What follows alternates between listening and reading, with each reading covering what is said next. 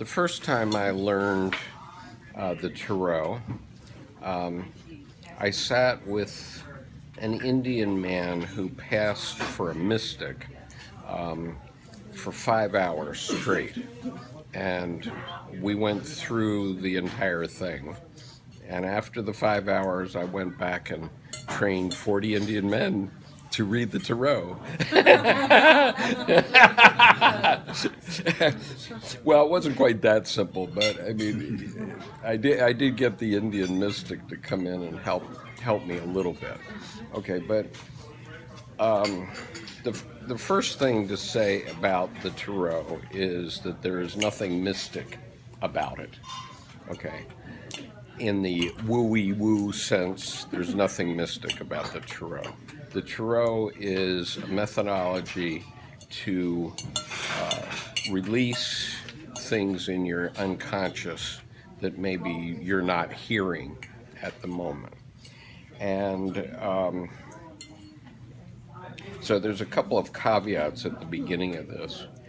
One is that um, Remember that no approach to life is good or bad except in the context of the moment. So the a tarot reading, even if you even if you have a bad tarot reading, it's only about this moment. And if anything, it's giving you a warning about something. If you respond to a card or the way the card is presented by the reader or by yourself if you're reading for yourself. And that's basically what they're saying to do is to read for yourself.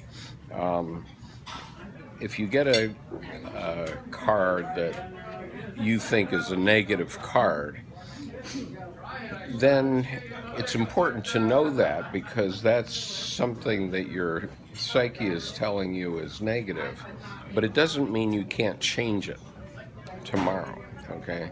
You should pay attention to it, surely, but it doesn't, it's not predicting the future. It's only saying, here's some things that maybe you didn't know in your psyche, and yes, they are negative, but you can change them tomorrow, or you can start to change them tomorrow. And, you know, it might be something very painful um, and uh, you just you have the chance to change everything. Okay, and so. Um, remember that everything reading is about is how things are now. Everything can be changed. If something negative is dredged up from the unconscious, knowledge of it allows you to change the situation. Now, I want to give you a special caveat emptor. This is not something to be taken lightly.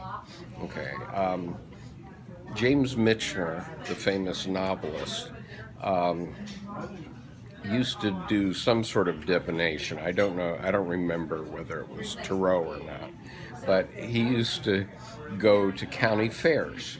And every year he'd go to the county fair in whatever community he was in, and he would set up a little tent and he would do readings. And he did that for decades, a couple of decades.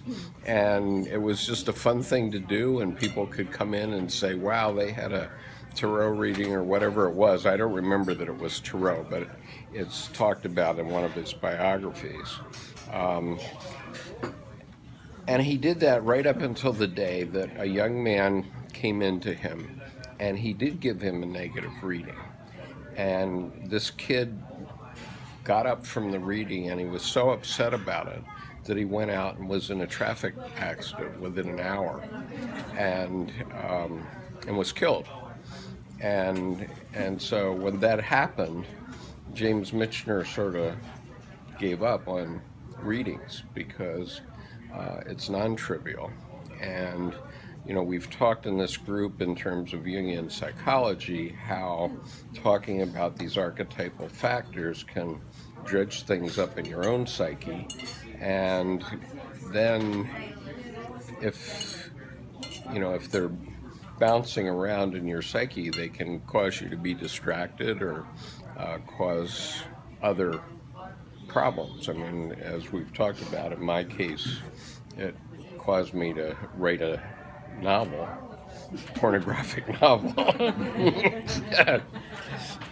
and you know, and and that was based on visioning that happened over an eight-month period. So it was non-trivial, and um, and so the tarot is like that. It's we're talking about archetypal energies, and when you kick them up in the psyche, um, you have to know that they can have consequences, and so I think it's a, it's a good idea um, if you're going to give a reading to someone to give them these caveats at the beginning about remember everything can be changed. This is only about now, and so on, so that they understand.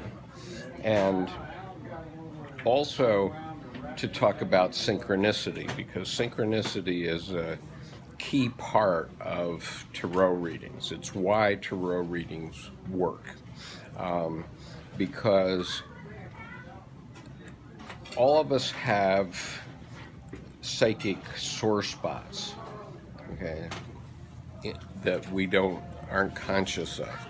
The night before last, Debbie and I were watching the movie Witness uh, because it just happened to come on TV, notwithstanding what we talked about before.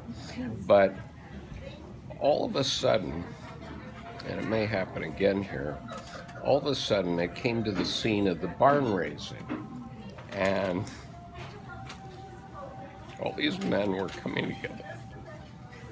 And they were building a barn in a day. And obviously, you see, it's a very sore, soft spot for me. And the reason is that my great grandfather was a Pennsylvania Dutchman, just like those guys. Okay, he was an Amish uh, man, and we uh, we used to have a portrait of him in his hat, in his full gear, and my sister, in her infinite wisdom, say, "Oh, I don't want this old picture," and she gave it away or something to somebody, and if I'd known she was going to do that, I would have strangled her. But any, anyway, she gave it away, and and so when that barn raising scene came up, it dredged up in me all those connections, the connections with my great grandfather, connection with my sister, connection with that incident of her giving away his portrait. And uh, it was you know, and, and so those sorts of things can happen to you all the time.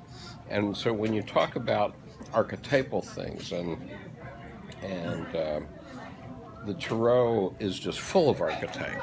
Okay, so everything you're talking about is somewhat archetypal and very normal for what happens in your life. And so if um, if you're not care if you're careless about it, it can um, be an issue. Now, remember the story I told you about flipping a coin and how you can flip a coin to get an answer from your unconscious, and you know if the if the side comes up that isn't the one that you wanted, you can say best two out of three, but but actually, when you say best two out of three, it's already given you the answer because it's telling you that you wanted the other answer. Okay, it's telling you that. Okay, the tarot works in exactly the same way, only with huge technicolor. Okay, in huge, um, huge areas of your psyche. It's not just a yes/no question. It's you know, the 78 degrees of wisdom, and and they all combine differently, and there's no tarot reading that's the same.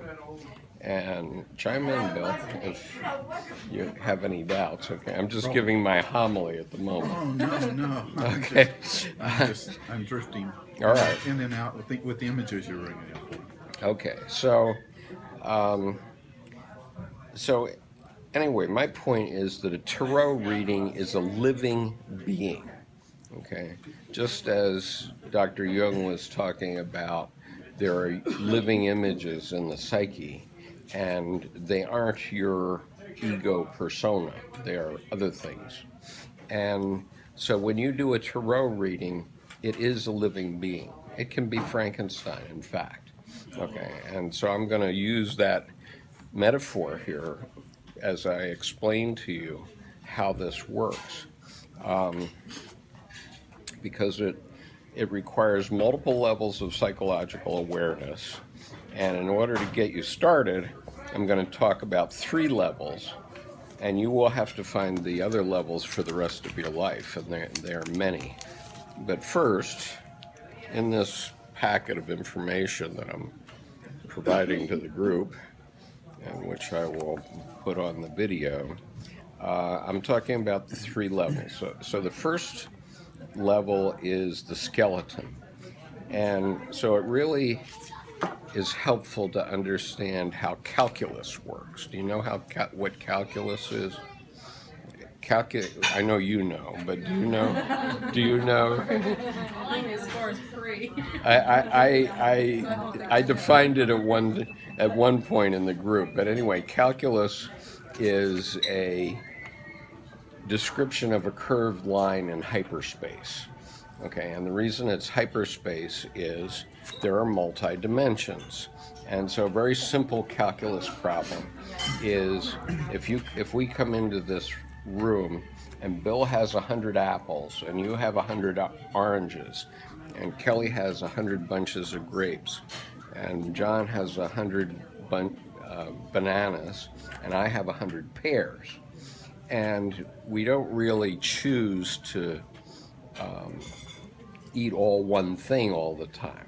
So we'd like to have a trade, trade off among one another to get the optimum number of each fruit for our needs, right? And I mean, you could do this with 10, but each, each fruit is a dimension. Okay. And it's a dimension. So if, if you have two, if it's only apples and oranges, then you can do a traditional L square, L graph, and you can say, okay, there's apples on this dimension, there are oranges on this dimension, and uh, Kelly and Des will trade off this many apples and oranges between them. Okay, and you can you can graph that. Okay, and then if you add um, bananas or whatever, okay, now you have three dimensions. So now you're in three dimensional space. But after you're finished with three dimensional space, for the other two fruits, you don't have a dimension for that. And so that's what calculus does. Calculus is a way for communi- uh, computers to crunch numbers to decide how many of each fruit each one of you will select based on preferences that you would put down somehow. Is that a fair description? Okay, Sounds good. All right. Just, Mathematical divination. well, I- no, I- well, it's not a mathematical divination, but it's to help you understand multidimensionality, okay? And the fact that a tarot reading is a multidimensional event. Okay, it's it's in many many different dimensions, and so what I'm presenting here is um, first the skeleton. Okay, which is I'm going to going to talk about the dimensions and what those dimensions are. Then um, then I'm going to put flesh and blood about on it, which is we're going to talk about what each of the card what what a reading is about and what each of the cards looks like and what it means and then the third dimension is an actual reading and that's when you have frankenstein on the table okay and now no really because now once you know what the skeleton is and know and once you know what the flesh and bo- bones is then you have to put put life into it and because if you learn the skeleton and the flesh and bones, then you have to forget them. Okay. And you have to just read. and so this is where my boast comes in that I can go into a theater with a thousand people present. And as long as they give me the benefit of the doubt that the tarot does something, and I and I acknowledge that it's not mystical. Okay. Every person in the room, I can throw the cards across the stage and read them off the stage without having any special layout. And everybody in the room will think I did a reading for them. Every single person. Every single person will hear a different reading. All right, so the skeleton is this dimensionality, which I talked about. The flesh and bones is what the cards mean.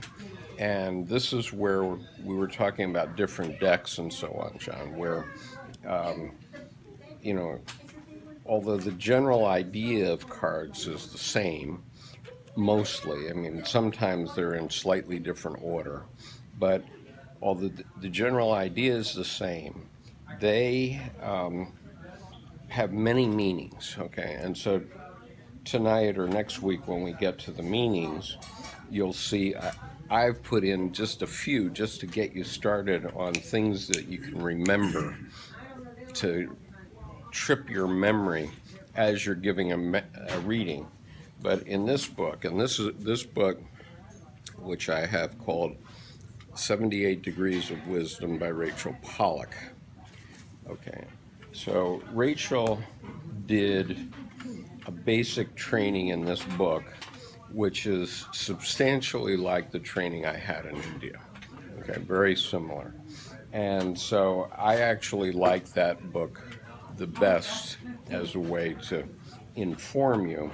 Um, and she has like five to seven pages on every card.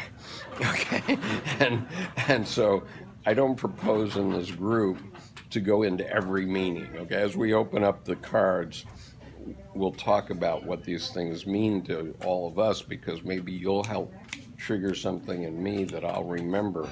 But um, that I'll remember when I'm doing a reading, okay, and maybe I'll say some things that you'll remember when you're doing a reading. Um, but the idea is I'm just going to give the barest of bare bones descriptions just so you can remember, oh yeah, what's this card about kind of thing, right? And then from that, you your own experiences will tell you how to talk about them in the context of this specific reading that you're doing. Now there are a couple of there there are hundreds of tarot books. Everybody and his brother and sister, or her her brother and sister, because it's mostly mostly women who do tarot, because because it requires it requires intu- intuition, right? And so uh, has written a tarot book, and but here's one that's interesting. This is Tarot Psycho- Psychology by Robert Wang, and it's a handbook for the Jungian tarot. And so I'll pass this around, handbook of the Jungian tarot, and I'll pass this around. And what you'll see is that the, these, this is a different deck of cards that it's describing, and so I'll leave it up to you to decide whether you want to contact Amazon and try to get that deck of cards. And then, pardon? Oh, no, that's just interesting that like that. Right. And then there's another one which is interesting, which is called Tarot and Individuation. And the, the subtitle is Correspondences with the, Al- with the Kabbalah and Alchemy by Irene Gad. So again, we're talking about the Tarot as being a way into individuation. Okay, just as last week we were talking about the about the um, hymn of the pearl. By the way, that was very popular. I, I got some interesting feedback from our friends out here, Oh, and so that that worked out. So anyway, Tarot and Individuation. I actually haven't read this book because it's a little bit too heavy for my taste. It's a doorstop. it is a good doorstop. But in any case, um, you can use your own taste. I, my recommendable book is 78 Degrees of Wisdom by Rachel Pollack. And um, there actually there's two versions of this on on Amazon. One is it separates the minor arcana and the major arcana. But oh, by the way, it, she's saying the same thing in the in the three. I have all, I have them all, and so what she did was she updated. She first wr- wrote the two books, the minor and the majors, separately, and then she did the 78 degrees, and um, so this is the summation of the other two. So you don't need the other two. So this stands for seventy-eight cards. 78 cards. Okay, so here's here's a secret knowledge